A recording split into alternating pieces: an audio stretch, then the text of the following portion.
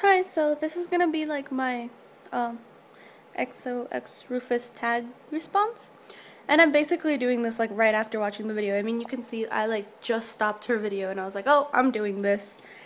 But um, anyway, so sorry for the weird background doodle. Um, so question number one, what is your, the one thing you've always wanted to make but have failed every time you tried?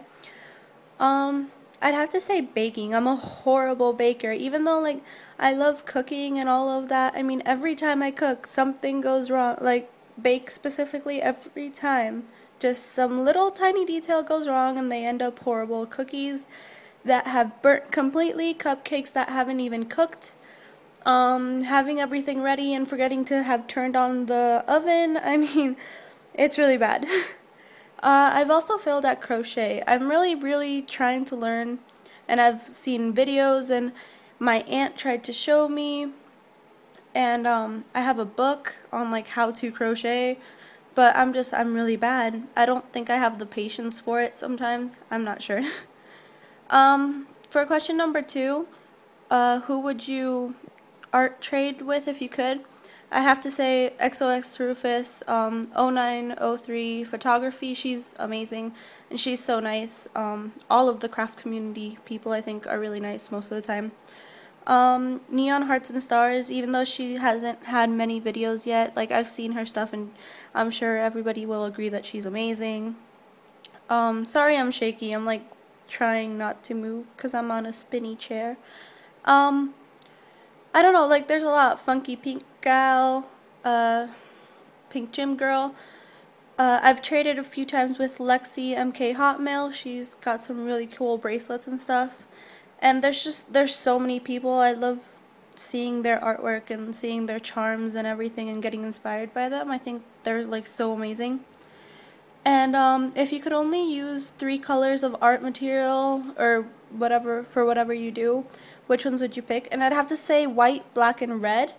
And like probably a crimson red because I love the white and black, like how it makes charms look, um, oh, and it's clay, how it makes charms look really classical and like very elegant sometimes. But I also like um, crimson red because it gives it a bit of a spark and like energy. I don't know, like I really just like the colors. And actually, like um, even for this, I know it's not clay, but like for some candy, I use white, black, and red a lot of the time because I think it just like makes it really pretty. Um, for question number four, when you fail at making something, do you give up or try or keep trying? I have to say, like um, most of the time, if I fail, I do the same thing as um, XOX Rufus. Like I get really upset because I always have this amazing idea or this amazing thought and it just never turns out the way I wanted to with clay and drawing and just a whole bunch of stuff. But usually I'll give up for like a day or two, but I'll go back and try again just because I can't get it out of my head or because I think after I fail I kind of try to figure out how I failed and like try and fix it. Um, for question number five, do you hoard your charms or creations or do you not really mind?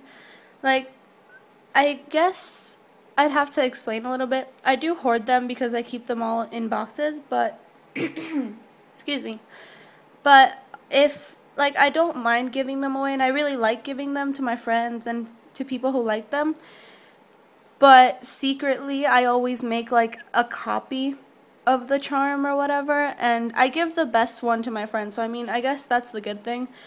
But when I give that one to my friends or family members or whoever I always keep the extra one that I made just because I like having the charm. Like I like being able to see all the charms I've ever made and stuff like that. Um so hopefully you enjoyed the weird background of my unfinished doodle and um yeah, this is my response, video response to XOX Rufus's tag. Hope you like it. Bye.